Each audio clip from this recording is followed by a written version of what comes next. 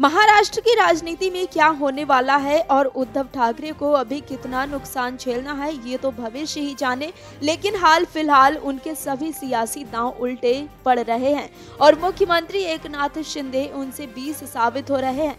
अब खबर है कि शिंदे ने उद्धव के परिवार में भी तगड़ी सेंधमारी की है।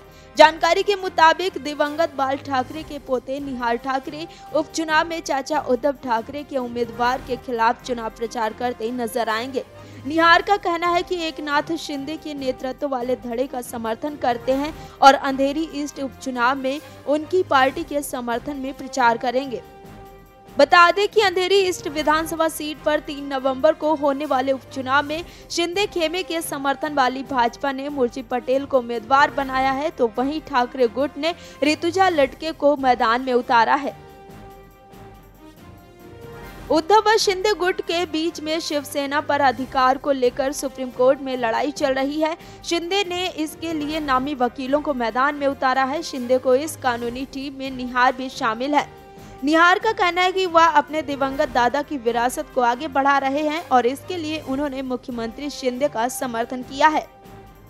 निहाल ठाकरे, बाल ठाकरे के बेटे, बिंदु माधव ठाकरे के बेटे हैं। बिंदु माधव उद्धव ठाकरे के बड़े भाई थे। एक सड़क दुर्घटना में उनका निधन हो गया था। बता दें कि दशहरा रैली के दौरान निहाल ठाकरे ने एकनाथ शिंदे के साथ मंच साझा किया था। इससे पहले उद्धव के बड़े भाई जयदेव की पूर्व पत्नी, स्मिता ने भी शिंदे के साथ मंच साझा किया था। तो वहीं दूसरी ओर मुंबई के अंधेरी विधानसभा उपचुनाव को लेकर एक नया ट्विस्ट आ गया है।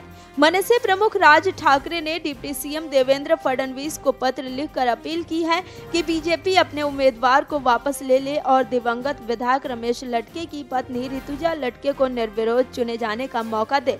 उन्होंने अपने पत्र में लिखा है कि दिवंगत विधायक एक अच्छे कार्यकर्ता थे, उनके राजनीतिक प्रवास के वे गवाह रहे हैं। अगर बीजेपी अपने उम्मीदवार वापस ले लेती है तो ये रमेश लटके को यही सच्ची श्रद्धांजलि होगी। अंधेरी विधानसभा उपचुनाव में उम्मीदवारी वापस लेने का कल आखिरी दिन है। ऐसे में बीजेपी अपने उम्मीदवार मुर्जी पटेल का नाम वापस लेती है या नहीं, ये देखने वाली बात होगी। देवेंद्र फडणवीस ने इस बारे में अपनी प्रतिक्रिया दी है। उन्होंने कहा कि उम्मीदवार की घोषणा भी हो चुकी है, अर्जी भी भरी जा चुकी है। इस स्टेज में आकर राज ठाकरे पत्र लिख रहे हैं। इस बारे में अकेले फैसला नहीं किया जा सकता है। उन्हें बीजेपी के सहयोगियों और वरिष्ठ नेताओं से बात करनी होगी। बाला साहेब बांची शिवसेना प्रमुख और मुख्यमंत्री एकनाथ शिंदे से बात करनी होगी। बता दें कि राज ठाकरे कल अचानक सीएम शिंदे से वर्षा निवास में जाकर मिले थे। मुंबई बीजेपी अध्यक्ष आशीष शेलार की भी आज राज ठाकरे से मुलाकात हुई। इसके बाद राज ठाकरे ने देवेंद्र फडणवीस को पत्र लिखा है। Video desk Amar Ujala dot com. Download करें अमर उजाला ऐप और पाएँ खबरें लगातार।